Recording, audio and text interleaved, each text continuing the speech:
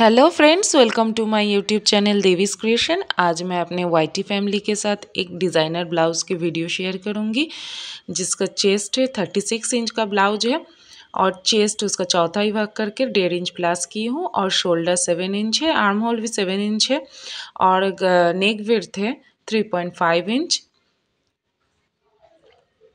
अब three point five inch का width लेके मैं सीधा एक लाइन ड्रॉ करूँगी पहले।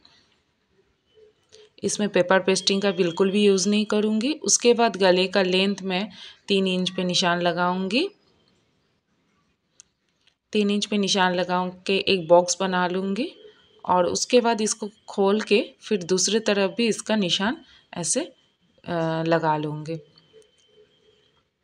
और फिर इसको डार्क कर लूँगी।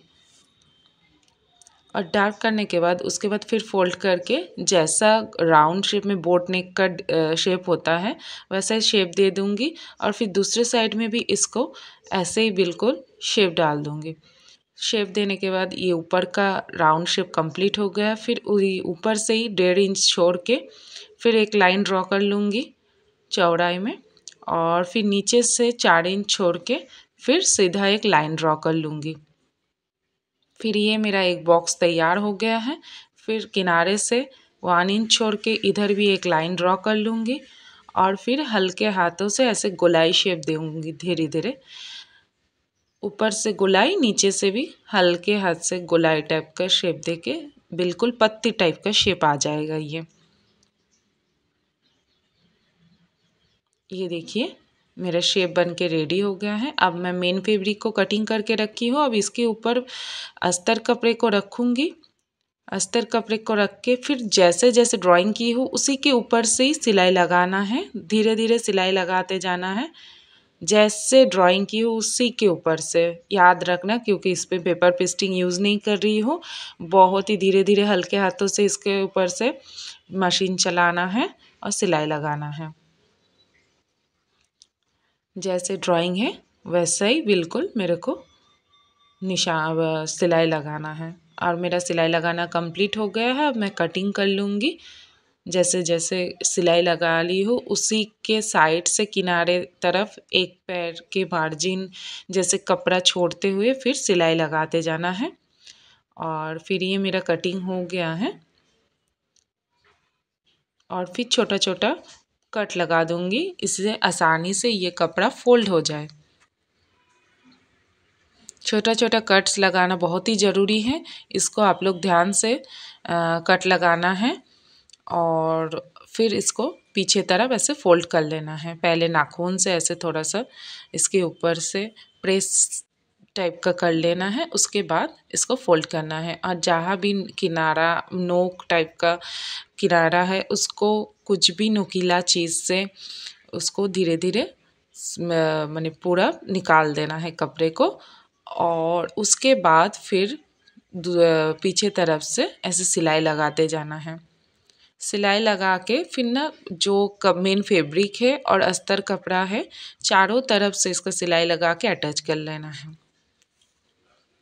बहुत ही आसान है, लेकिन देखने में थोड़ा लगता है कि ये बहुत टफ़ है, लेकिन आप लोग इजीली इसको घर में ट्राई कर सकते हैं।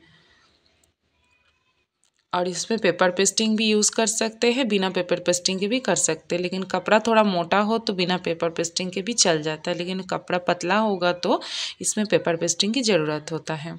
तो मेरे इधर कपड़ा थोड़ा मोटा है तो बिना पेपर पेस्टिंग के भी मैं ये डिज़ाइन अच्छे से डाली हूँ इसमें ब्लाउज़ पीस में और फिर ऐसे फोल्ड करके दो टुकड़ा सिल लेना है क्योंकि इससे मैं आ, उसको फिर ये टक्स लगा लूँगी।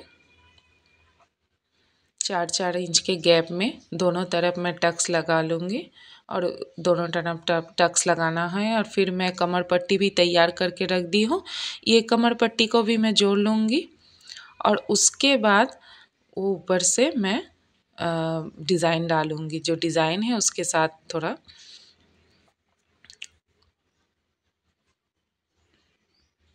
ये टक्स, कमर पट्टी भी लगाना कंप्लीट हो गया है। अब मैं इसको तैयार करूँगी। पट्टी काट ली हूँ। ये देखिए, ऐसे इसको जोड़ूँगी फोल्ड करने के बाद।